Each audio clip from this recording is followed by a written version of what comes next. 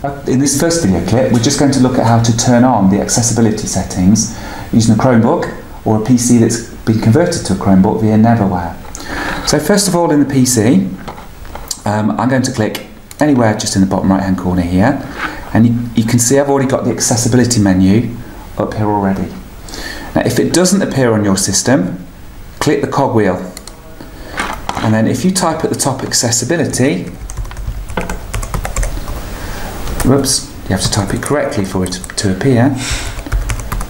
Accessibility, great. You can see I've got the tick there, or the slider switched to it's, it's available.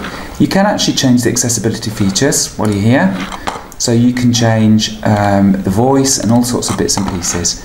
But mine's turned on, so that is how you turn on the accessibility menu in the Chrome, in the PC converted to a Chromebook. To have a quick look at the at an actual Chromebook, this one's updated to the latest um, version of the Chromebook operating system. Again, I'm going to click in the bottom right corner, Chrome Thank you, Richard.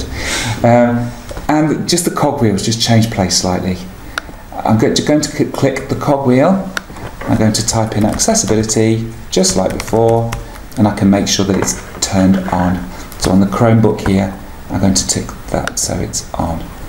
And now, if I click in the menu, I should see the um, Chrome accessibility is on.